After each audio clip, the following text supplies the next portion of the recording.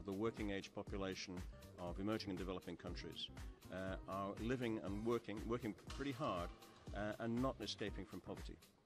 So uh, decent work really is about not just about the quantity of jobs, but it's also about the quality of jobs.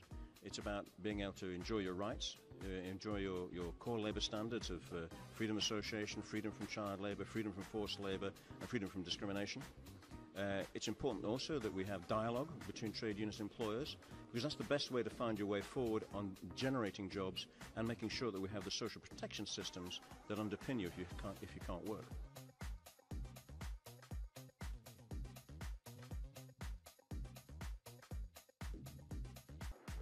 The International Labour Organization is the United Nations agency for the world of work. It sets international labor standards, promotes rights at work, and encourages decent employment opportunities, the enhancement of social protection, and the strengthening of dialogue on work related issues. The International Labour Organization has a unique structure, bringing together governments, employers, and workers' representatives.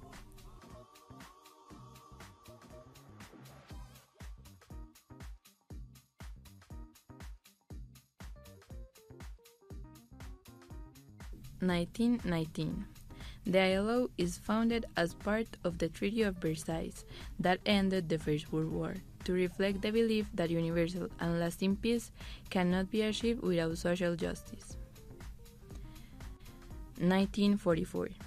The Declaration of Philadelphia states that labor is not a commodity and establishes basic human and economic rights for states to uphold. 1946. The ILO becomes the first specialized agency of the United Nations. 1969. The organization is awarded with the Nobel Peace Prize. 1998. The Declaration of Fundamental Principles and Rights at Work creates a set of core labor standards. 2015. Agenda of 2030 for Sustainable Development places decent work for all at the heart of policies for sustainable and inclusive growth and development.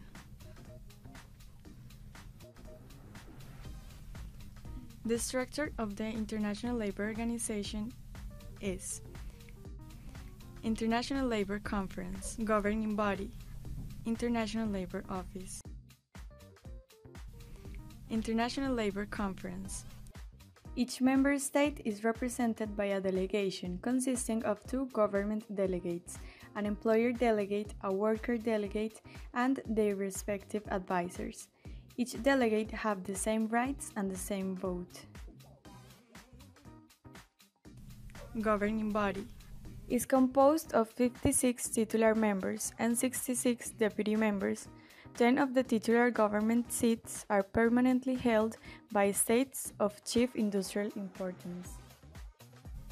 International Labour Office is led by the Director General Guy Ryder, who has been re-elected by the governing body of the ILO for another five-year term that will start officially on October 1, 2017. The decision-making process of the International Labour Organization has four steps. The development of international labor standards at the ILO begins when the governing body agrees to put an issue on the agenda of a future international labor conference. Then, the International Labour Office prepares a report that analyzes the laws and practices of member states with regard to the issue at stake. The report is circulated to member states and to workers and employers' organizations for comments and is discussed at the International Labour Conference. Finally, a second report is then prepared by the office with a draft instrument for comments and submitted for discussion at the following conference, where the draft is amended as necessary and proposed for adoption. The ILO has partnerships with public and private institutions. Some of them are made with companies like IKEA, Gap, Adidas, Nike, and Nestle. 56.4% of the partnerships are made with private companies, 16.8% with foundations, 13.2% with public institutions, 9.2% with other non state actors, and 4.4% with social partners.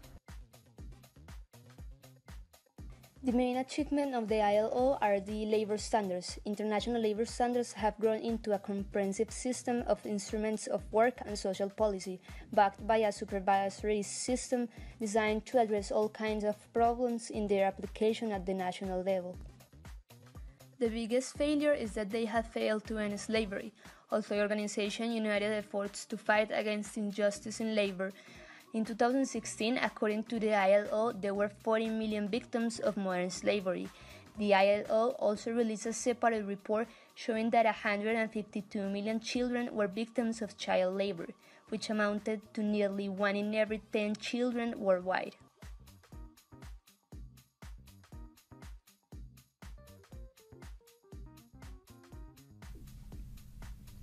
Colombia is a member of the International Labour Organization since 1919. The country has ratified 61 conventions. At the end of 1954, it was decided to establish a center of action in Lima, Peru. Later on, the Action Center is elevated to the rank of Regional Office for Latin America and the Caribbean. There are polarized opinions about the International Labour Organization. One of them perceives the ILO to be a weak and ineffectual institution. They only promote the standards, but they can assure that these standards will be applied. On the other hand, some people think that the International Labour Organization is an important factor to create and maintain peace. Thanks to this organization, millions of workers have improved their lives in some aspects such as social, family, safety, and economic. Also, it has enhanced the equal treatment.